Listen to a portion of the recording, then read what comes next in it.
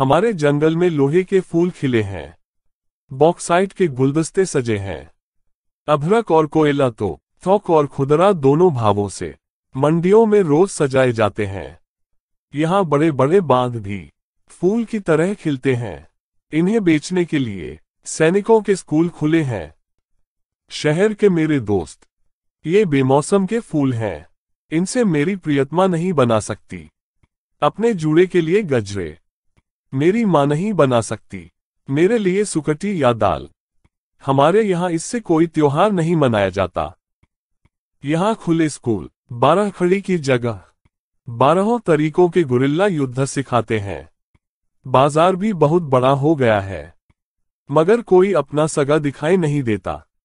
यहाँ से सबका रुख शहर की ओर कर दिया गया है। कल एक पहाड़ को ट्रक पर जाते हुए देखा। उससे पहले नदी गई। अब खबर फैल रही है कि मेरा गाँव भी यहाँ से जाने वाला है। शहर में मेरे लोग तुमसे मिले तो उनका ख्याल ज़रूर रखना। यहाँ से जाते हुए उनकी आँखों में मैंने नमी देखी थी। और हाँ, उन्हें शहर का रीति रिवाज भी तो नहीं आता।